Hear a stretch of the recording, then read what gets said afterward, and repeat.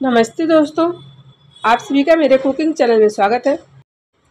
तो आज मैं बनाने वाली हूँ ठंडाई की रेसिपी ये इतना आसान रेसिपी में बताने वाली फ्रेंड्स कि अगर एक बार आप इसको देख लेंगे ना तो आप इसी रेसिपी से आप ठंडाई बनाएँगे और बार बार ऐसे ही बनाएँगे।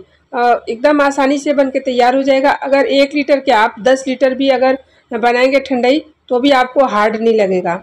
अगर आपका फैमिली बड़ा है तो आप इसको बहुत ही आसानी से बना करके रेडी कर सकते हैं। तो चलिए देखते हैं कैसे बनाते हैं। वीडियो को अंत तक देखिएगा। वीडियो पसंद आएगा तो चैनल को लाइक सब्सक्राइब एंड शेयर ज़रूर करिएगा। यहाँ मैंने पहले ले लिया है वन फिफ्टी ग्राम मैंने ले लिया है आ, बादाम। आप सामान को कम ज़्यादा अपने हिसाब से कर सकते हैं। अब इसको मैं मिक्सर के जार में पीस करके बारीक एकदम ले लेती हूँ। इसको एकदम बारीक पीसना है। इसमें दाना बिल्कुल ही दरदरा नहीं रहना चाहिए। अब यहाँ मैंने पीस करके ले लिया है। जितना हो सके इसको बारीक ही पीसना है।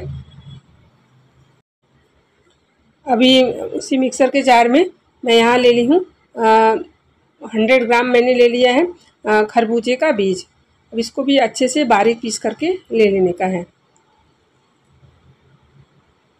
यहाँ मैंने ले लिया है आ, उसी मेज़रमेंट से मैंने ले लिया है काजू।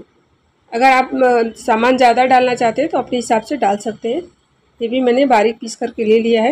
इसी तरह से सारे सामान को पीस करके बारीक ले लेने का है। सौंफ भी मैंने ले लिया है।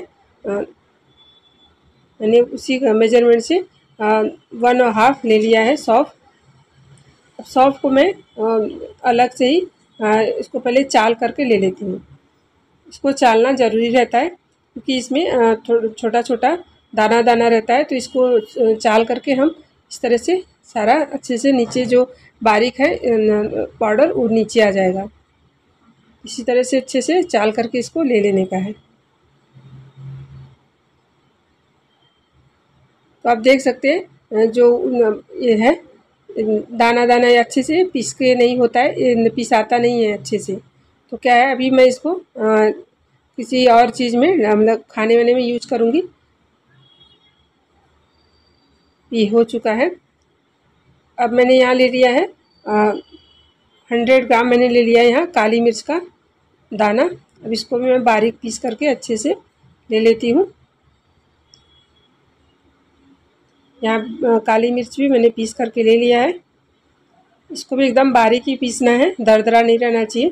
कोई भी सामान बारीक ही पीसना है, दरदरा नहीं रहना चाहिए। अब मैंने यहाँ ले लिया है टू फिफ्टी ग्राम मैंने ले लिया है। चीनी।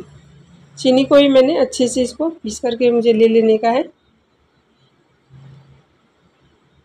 चीनी भी मैंने पीस करके यहाँ ले लिया है।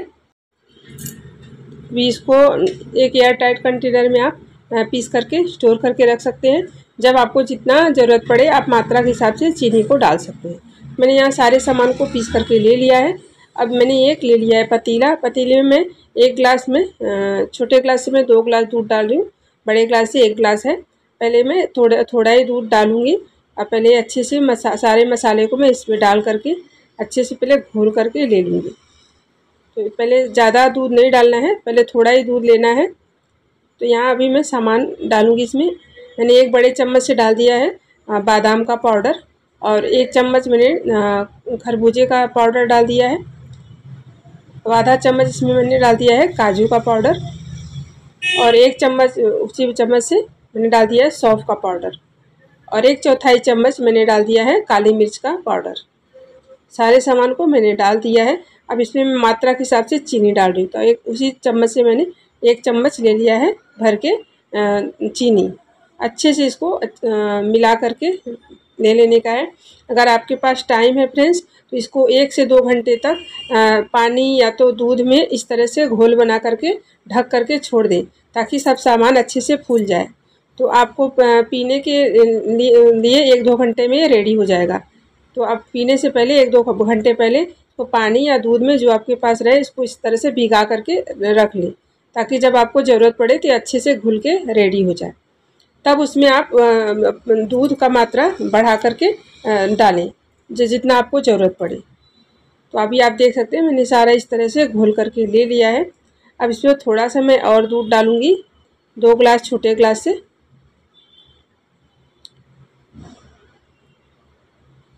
इसको पहले अच्छे से मिला करके ले लेने का है।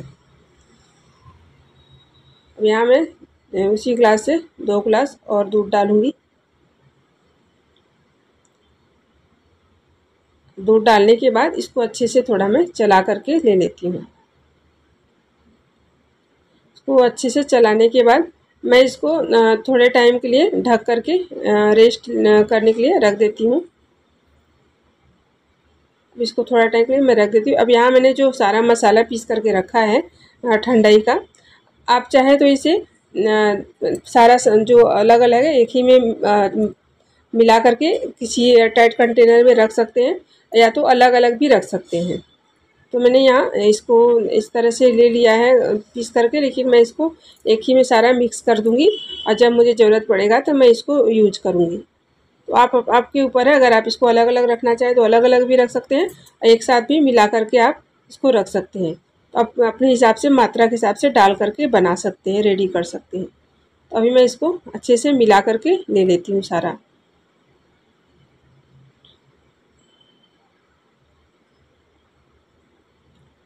इस तरह से मिला करके सारा एक ही में मैं ले लेती हूँ।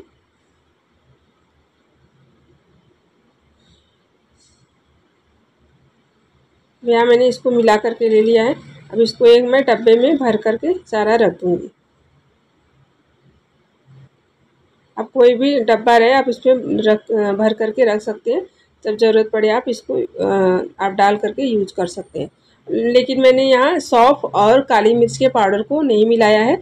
आप चाहें तो मिलाएँ या न मिलाएँ, लेकिन मैंने नहीं मिलाया। जब मुझे ज़रूरत पड़ेगा तो मैं सौफ़ और काली मिर्च के पाउडर को मात्रा के हिसाब से डाल करके मतलब रेडी कर दूँगी।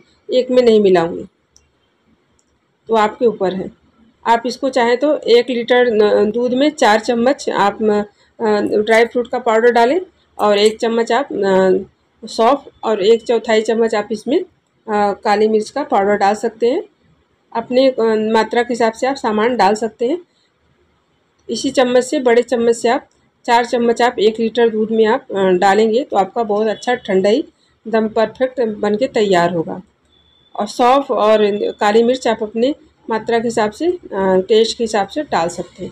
या अभी मैं चेक करके ले लेती हूँ तो आप देख सकते हैं। मैंने थोड़े टाइम के लिए इसको रख दिया था। अभी अच्छे से पूरा घुल चुका है। इसको मैं थोड़ा सा चला करके ले लेती हूँ। तो आप देख सकते हैं फ्रेंड्स, एकदम अच्छे से घुल चुका है। मिक्स हो चुका है पूरा ड्राई फ्रूट्स। मैं इसको एक ग्लास में निकालूँगी सर्व करने के लिए। इस तरह से आप अगर ठंडई को बना करके मेहमान लोग को अगर आप, आपके घर में मेहमान आते हैं, बना करके आप देंगे ना तो मेहमान भी आपकी तारीफ़ करेंगे और खुश हो जाएँगे। पूछेंगे कैसे बनाया। अभी मैंने यहाँ लिया था गुलाब का पंखुड़ी। अगर आप ताज़े गुलाब लेना चाहें तो ताज़े गुलाब का भी ले सकते हैं। नहीं सूखा हुआ गुलाब का पंखुड़ी भी मिलता है रेडीमेड, आप वो भी ले सकते हैं। तो आपके पास जो भी रहेगा, आप इसमें डाल सकते हैं। तो बहुत ही अच्छा लगता है देखने में। खा, इसको आप खा भी सकते हैं, खाने में भी बहुत ही टेस्टी लगता है। तो आप भी ज़रूर इस तरह से ठंडाई बनाइएगा फ्रेंड्स, होली पर। आपको जब इच्छा हो तब आप बना सकते हैं। ये ठंडाई के साथ साथ ठंडा भी रखता है शरीर में और हेल्दी भी रहता है। इसमें कुछ ऐसा सामान नहीं रहता है कि ये अनहेल्दी रहे, सब हेल्दी सामान रहता है इसमें। हमारे शरीर के लिए फ़ायदेमंद ही रहता है तो आप ज़रूर बनाइएगा और मुझे कमेंट करके ज़रूर बताइएगा कि मेरी ये ठंडाई की रेसिपी आपको कैसी लगी। एक लीटर के आप, दस लीटर भी आप बनाएँगे ना तो भी आपको हार्ड नहीं लगेगा। एकदम आसानी से बना के आप इस तरह से स्टिक से रेडी कर सकते हैं। अगर आपकी फैमिली बड़ी है तो आप आसानी से इस तरह से बना सकते हैं। कम ज़्यादा जितना आप चाहें उतना स्टिक से बना सकते हैं। तो वीडियो पसंद आएगा फ्रेंड तो चैनल को लाइक, सब्सक्राइब एंड शेयर ज़रूर करिएगा और बेल आइकन के बटन को ज़रूर दबा दीजिएगा ताकि जब मैं नया वीडियो बनाऊँ तो आपको नोटिफिकेशन मिल सके। तो आप भी ज़रूर बनाइएगा। और मेरी आज की रेसिपी अपनी फैमिली और फ्रेंड सर्कल में ज़रूर शेयर करिएगा। तो वीडियो को अंत तक देखने के लिए धन्यवाद। मिलते हैं नेक्स्ट वीडियो में तब तक के लिए बाय